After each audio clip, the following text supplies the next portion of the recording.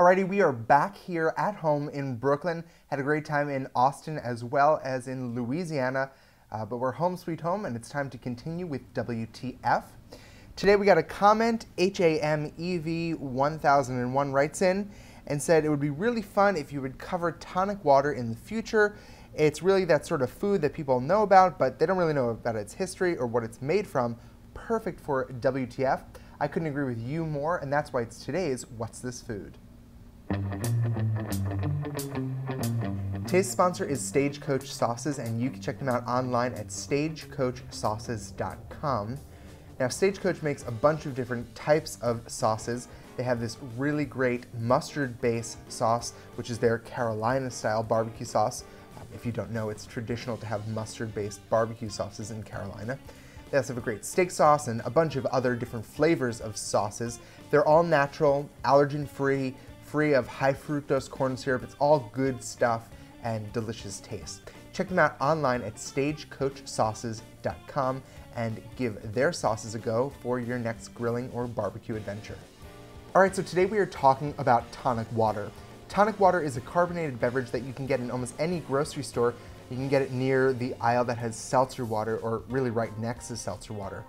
Tonic water is something commonly used in a very classic alcoholic cocktail called a gin and tonic. It's 50% of that drink.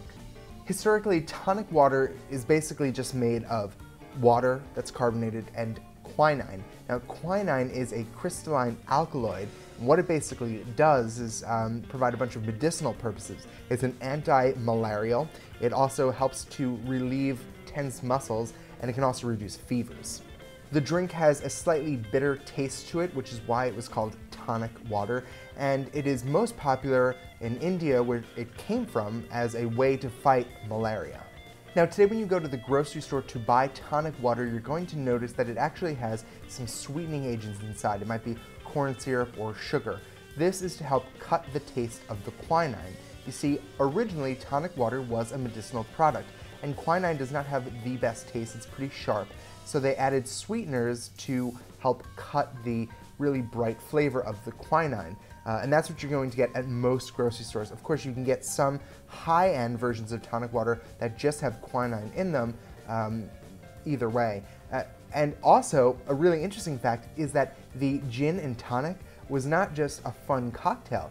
People introduced gin to the quinine water to help cut the flavor and make it more palatable to consume when you're fighting malaria.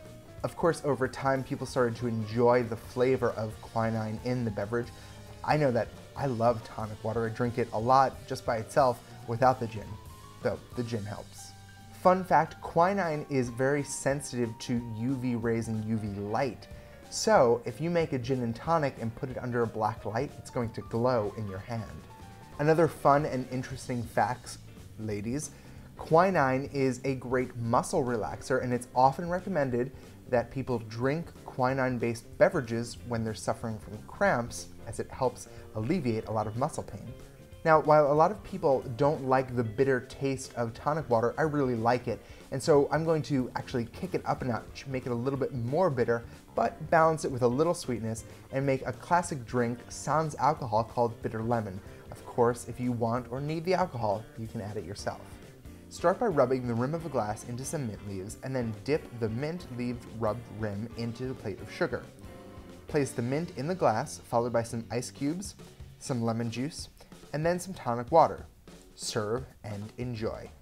That's it. Super, super simple recipe. Now you can omit the sugar on the rim if you don't want it to be super sweet, totally cool. Um, and you can also add simple syrup to the whole thing if it's not sweet enough. Either way, make it your own. I think this is a really refreshing summertime drink. You can add some alcohol to it if you want. You could even put it inside of a squirt bottle if you're running and kind of make your own uh, refreshing running drink. I don't want to call it. Really simple recipe, and it's today's WTF.